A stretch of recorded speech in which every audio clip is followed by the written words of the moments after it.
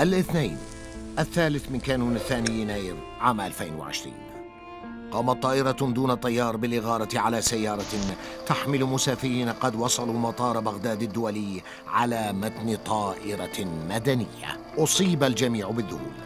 وطرحت أسئلة كثيرة حول الأشخاص الذين كانوا يستقلون تلك السيارة والطائرة التي استهدفتهم. لكن سرعان ما أعلنت وسائل الإعلام العالمية أن ذلك الهجوم جاء إثر أوامر مباشرة من رئيس الولايات المتحدة دونالد ترامب باغتيال الجنرال قاسم سليماني ورفيق دربه أبو مهدي المهندس. هذان القائدان الأوائل في التصدي ومحاربة تنظيم داعش الإرهابي.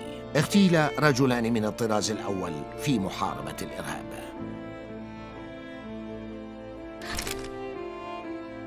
بضربة جوية غادرة وبأوامر مباشرة من دونالد ترامب في مطار مدني وسط العاصمة العراقية بغداد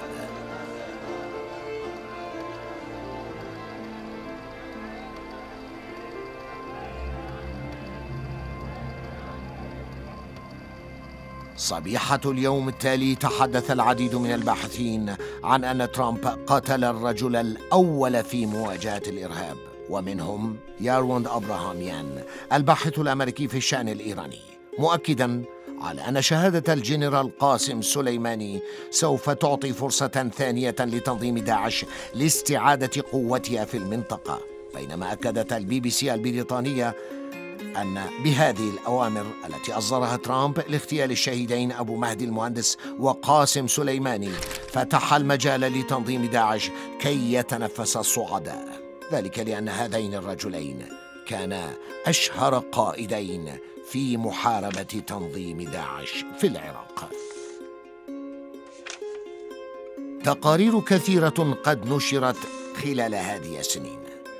كلها كان يتحدث عن الدور الفاعل والمؤثر للشهيد قاسم سليماني في التصدي لتنظيم داعش الإرهابي.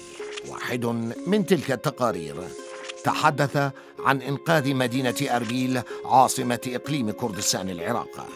حيث تحدث مسعود البارزياني وبشكل واضح وصريح عن الدور الذي لعبه الشهيد قاسم سليماني في الحؤول دون سقوط مدينة اربيل على يد تنظيم داعش الإرهابي.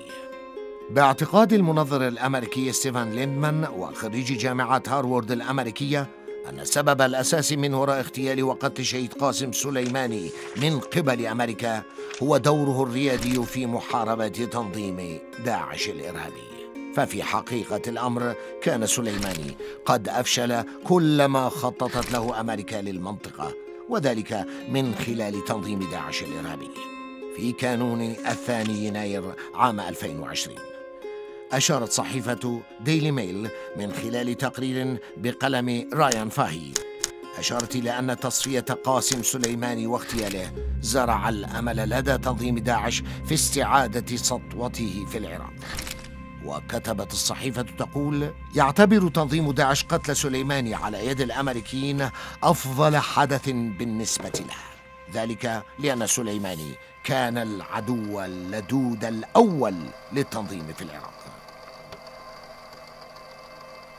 حول هذا الأمر والدور الذي لعبه قاسم سليماني في محاربة تنظيم داعش الإرهابي أكد الخبير الكندي فراس النجم ومدير مؤسسة المدافعين عن حقوق الإنسان الكندية أن قاسم سليماني كان في الخندق الأول لمحاربة تنظيم داعش.